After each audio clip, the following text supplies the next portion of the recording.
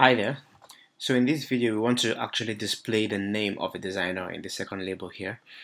So for that we're gonna have to make sure that we get some more information from the Dribbble API. So here on the Dribbble website um, we can see the endpoint for the for the shots here and we see that when we return the, the JSON file here at the bottom we have an element in the dictionary which is called user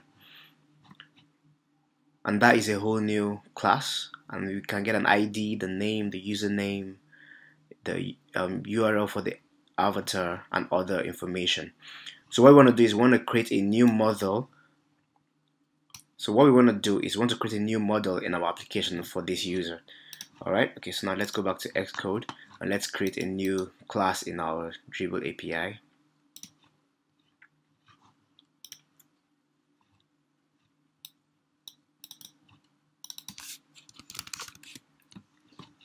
So I've called that user, and that's user.swift.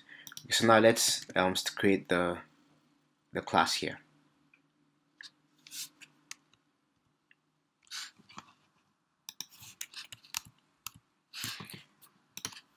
Okay, so we have our new user class, and let's put in the variables.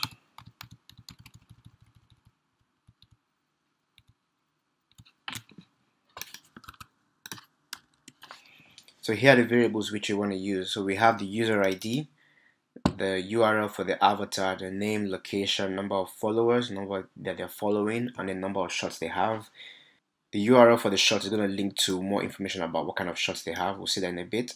And then we have the following URL, which is going to be list all the followers, sorry, the people that they are following. And then we're going to use this data to actually display the the image for the avatar in a bit. Alright, so now let's have an init method that will actually initialize all these variables.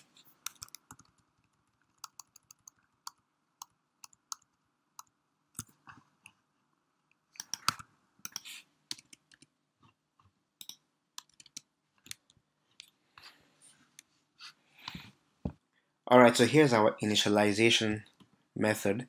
So we're going to do the same thing that we did in the shot class by actually going into the dictionary and then pulling out the data from the dictionary. And then we have the same thing here. So for example, we have the, if you go back to the Dribbble website, you can see for the user, we have an ID, which is actually the person user's ID and the name. These are, these are the keys for that user. So if you go back here, we're doing the same thing. So for the ID, we're pulling that out. And then for the name, we're using the same method which we used in our shot class which is called get string from JSON. So we probably want to refactor this since we're using this in two classes. Refactor this into a separate class. So I've called so I've called these utils. So but we haven't created that. So let me create that. Then we can get then we can use that in both places. So I'll copy that. Actually, I'll cut that and I'll create a new utils class here.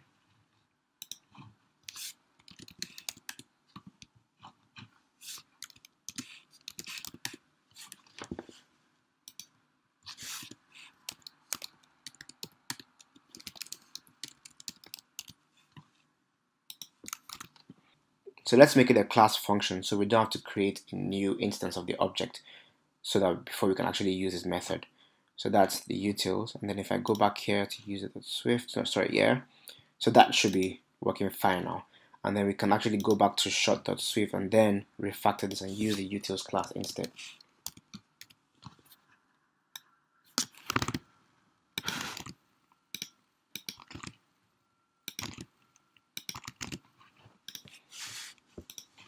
Okay, so now we have our new class, so now it's time to use it. So now going back to our shots grid controller.swift, we have the cell for item at index path method here. So here we loaded the title, so now we also want to load the username. So we go to cell.name label, it's called.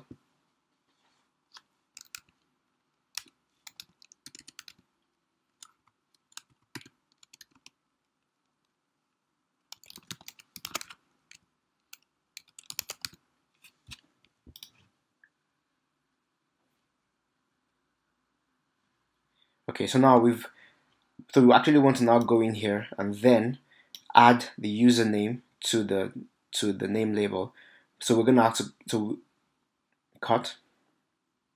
So I want to create like a new user variable in our shot class and then pull out the name from that. So now we haven't done that yet. Now let's go back to shot and actually add a new variable here.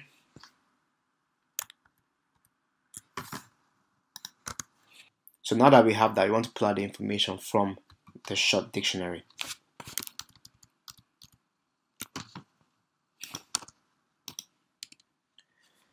Okay, so this is how we're going to do that. So we in our data dictionary, going back to the Dribbble API, you see we have our dictionary here, and under that we have our user key. So what we're doing here is pulling out the key for the, the dictionary that, that goes under the key user, I'm making sure there is one by doing this. So if let user data is equal to that, and if there is one, we're going to go into this if clause, and then we're going to create a new user. And this is going and this is going to go into our initialization function here and create a new user for us. All right. So now going back here, we should should have, not have any more errors. And then let's run that on the simulator and then see what we see what we get.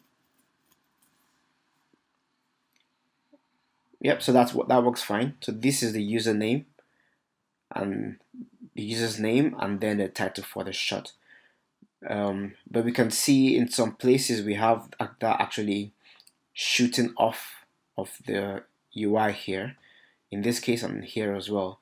So now let's fix that in the storyboard. And we're going to do a little bit of auto layout here. So we have our label. So what we can see that here is our label is pinned to the left. Let me just show you the constraints down here. So this label is pinned to the left of the UI and then also there's a vertical spacing in between that. But then if this label is too long, it's going to basically overshoot here. So what we want to do is we want to drag that to the end and then add another constraint to make it stop here and then if it's longer then just going to trail off at the end. So what we're going to, so we've dragged that. So we're going to go to our label and then we're going to add here a trailing constraint. And then I'm, so I'm holding control. So control drag to the cell and then add another trailing constraint in there. So if we run that again we should have our nice labels working for us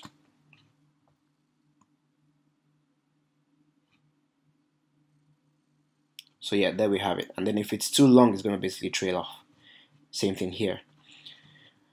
Okay, so one other thing which I think is probably a good idea to do is to have the title to be larger than the name. But that is a matter of preference, right? So, but then just to show you how we can um, basically play around with information. So if you go back to the shot cell.swift class, so we see here that we have our name label, the font size is, is 14, and the title label has a font size of 11 so let's switch that around. So I'll give that 14 and I'll give that an 11 and then we'll run that and see how that works. Yep so that looks better. So this is actually an idea of design right? So basically this information is more about the shot right? So since this is more about the shot the title of the shot should have a bigger weight and then the name which is kind of like a sub information has like a lower a lower weight. So one other thing we probably want to do is make that darker and then make this light. So I'm going to give that change the colors around. So this is going to be a white color so somewhere grayish. So I'll give that the name and I'll give the title label a black color